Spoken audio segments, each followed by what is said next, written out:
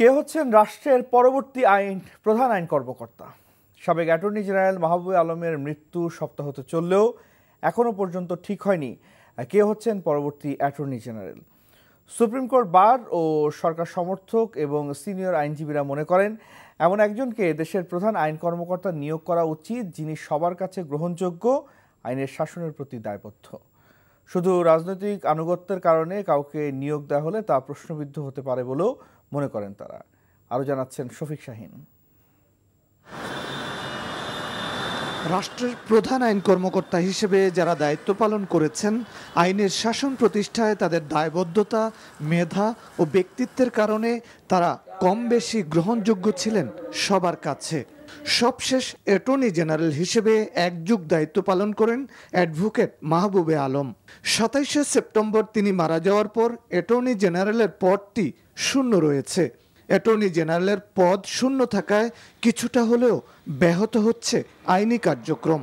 এ অবস্থায় দ্রুত অ্যাটর্নি জেনারেলের পদে যোগ্য, গ্রহণযোগ্য ও আইনের শাসনের প্রতি আনুগত্যশীল কাউকে নিয়োগ দেওয়ার তাগিদ দিচ্ছেন আইনজীবীরা। যিনি এই পদে আসীন হবেন তিনি পুরা দেশকে রিপ্রেজেন্ট করবেন। তিনি কোনো দলকে রিপ্রেজেন্ট করবেন না তিনি কোনো বিরোধী দলের নির্যাতিত মানুষের পক্ষে বরং থাকবেন বরং নির্যাতনকারীর পক্ষে থাকবেন এটা হচ্ছে আমাদের প্রত্যাশা। আমরা একজন অত্যন্ত দক্ষ যোগ্য সাহসী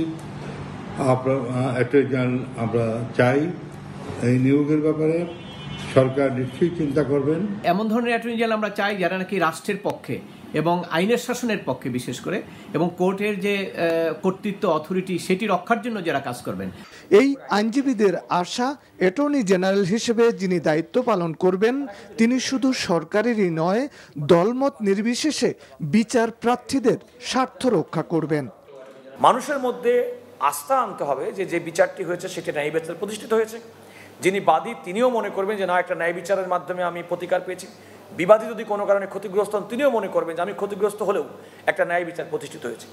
এই যে মানদণ্ড, এই মানদণ্ডটা যিনি বহাল রাখবেন এমন দৃঢ়চেতা, এমন মানে কি বলব যে নিরপেক্ষ ব্যক্তিকে আমি চাইব যে তিনি অ্যাটর্নি জেনারেল হিসেবে দায়িত্ব পালন করবেন। এমন একজন আইনজীবী আমরা চাই যিনি অ্যাটর্নি জেনারেল হবেন। আমরা আমাদের দেশ উপকৃত হবে, রাষ্ট্র প্রপারলি ডিফেন্ডেড হবে।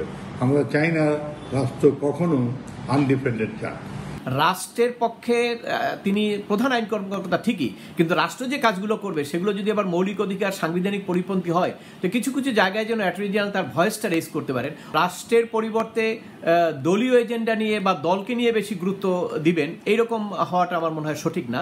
দুই হাজার নয় সালের তেরোই জানুয়ারি দেশের পনেরোতম অ্যাটর্নি জেনারেল হিসেবে দায়িত্ব নেয়ার পর আমৃত্যু ওই পদেই ছিলেন মাহবুবে আলম।